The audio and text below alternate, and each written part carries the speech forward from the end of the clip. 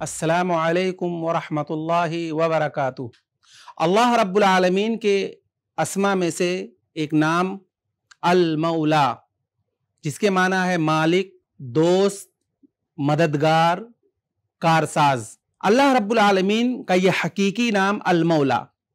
بہت سارے نام حدیثوں کے اندر اس طرح سے ملیں گے، جیسے رب، آقا، مالک، سردار، مولا۔ لیکن اللہ رب العالمین حقیقی مولا ہے۔ یعنی اللہ رب العالمین کے علاوہ مخلوق میں جو صفات پائے جاتے ہیں، تو اللہ رب العالمین مخلوق کے صفات سے یکتا اور بے مثل ہے۔ جیسے کہ اللہ نے کہا لئی سے کمثل ہی شعی وہ سمیع البصیر۔ اللہ رب العالمین کے لیے کوئی مثل نہیں اور اللہ رب العالمین دیکھنے والا ہے اور سننے والا ہے۔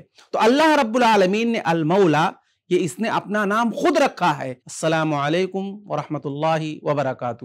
ایسے ہی اور ویڈیوز بنانے میں ہماری مدد کریں۔